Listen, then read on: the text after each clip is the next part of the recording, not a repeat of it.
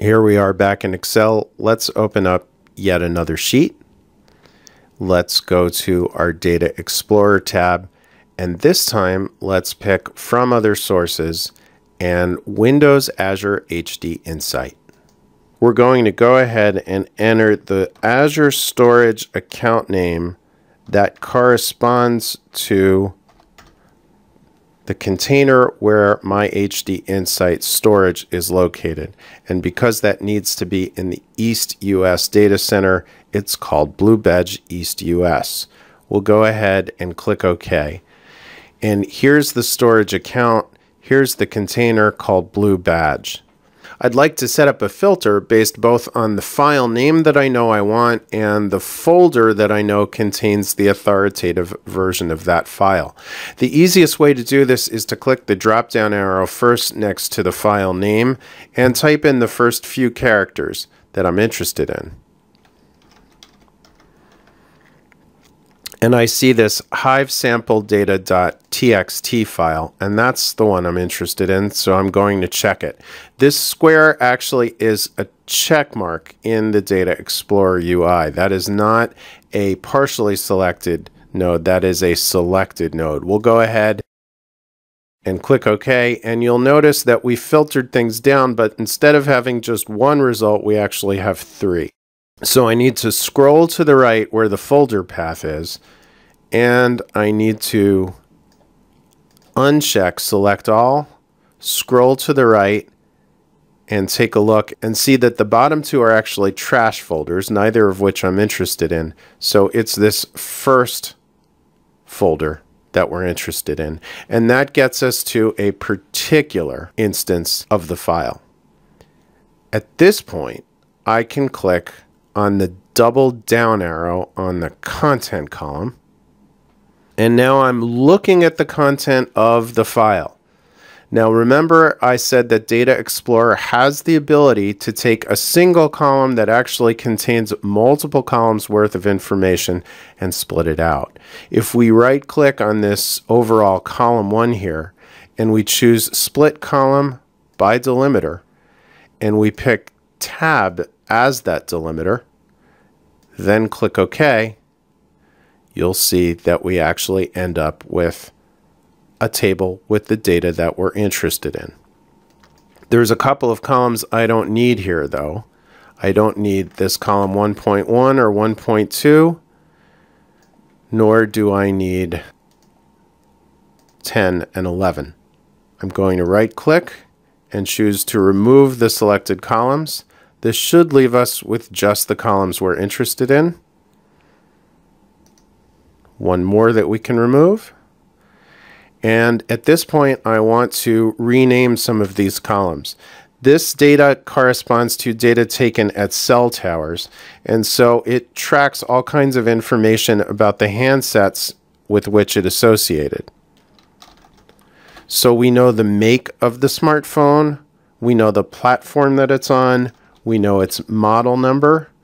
We also know the state that the tower was in, the country that the state was in, and something called query dwell time, which tells us how long the handset was associated with that particular tower.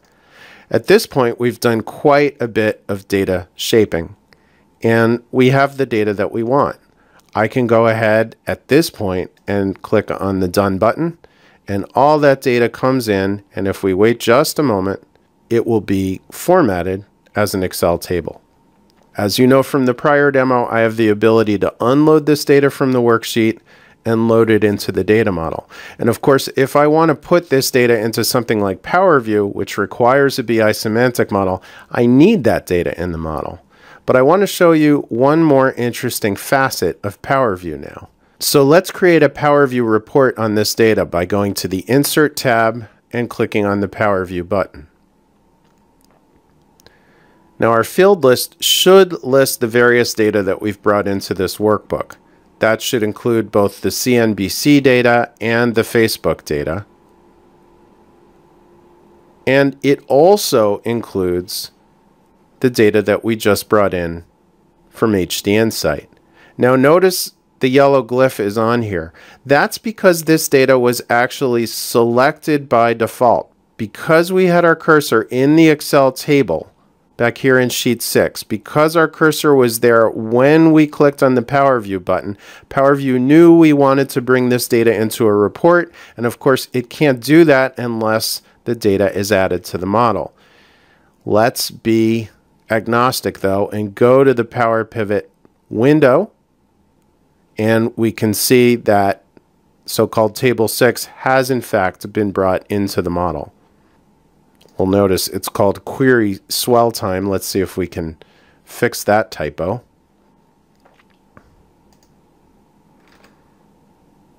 And I do that just so we can demonstrate the fact that that model is inextricably tied to this report. And so if we click table 6,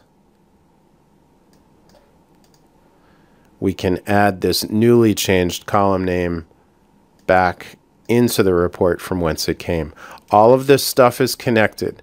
The data model, Power View, Data Explorer, they all know about each other. Or I should say that Power Pivot and Power View are built in such a way where they don't need to know about Data Explorer as long as Data Explorer is aware of them and does the right thing. Now, what we can do here is set up a report that's sort of similar to the one that we had before. Let's go ahead and narrow this down to just be platform and query dwell time. We'll get rid of the other columns here. And let's change this to a column, a stack column chart like we had in our last demo.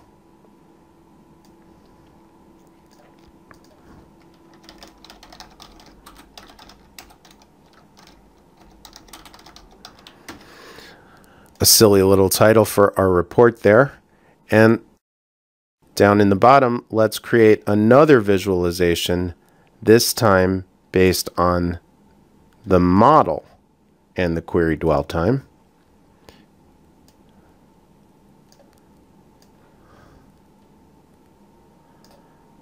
As before, we'll turn that into a line chart. And if we click on a particular platform here, we should see just the models that correspond to it. So I'll click on iPhone and we see just the iPhones. We really need good aim to get some of these other platforms like Windows Phone, but eventually we can do it. Part of the reason here is we're not able to filter. So iPhone is kind of disproportionately represented. But we could imagine, for example, bringing in country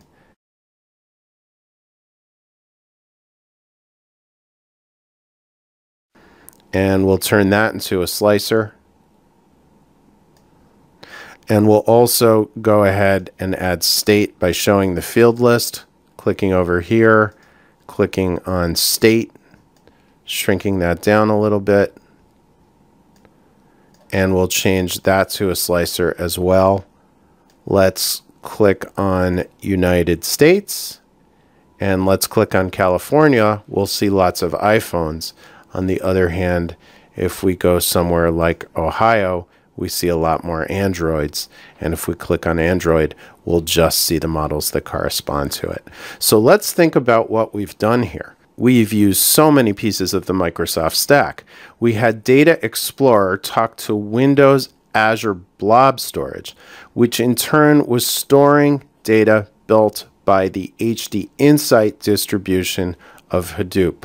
We brought that data into an Excel workbook. We then used Power View to visualize that data, and in so doing, implicitly added that data to the Excel data model. Then we went ahead and did analysis on that data. So while there is a lot of duplication between these components, there's also a lot of cooperation between them.